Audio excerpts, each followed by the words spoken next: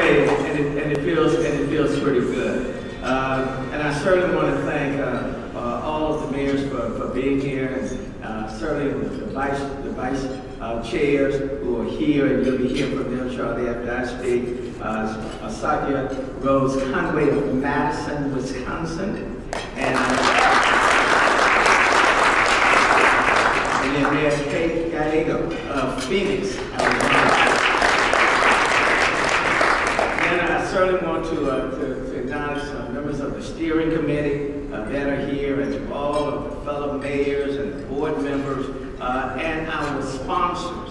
Uh, it's just a, a pleasure to have uh, everyone here.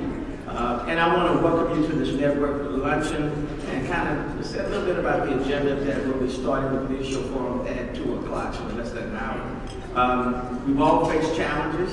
And I don't have to tell you about that. But over the last year, we've been working very closely with the White House and the federal administration to double down on climate action and accelerate America's path to a net zero future. And as you know,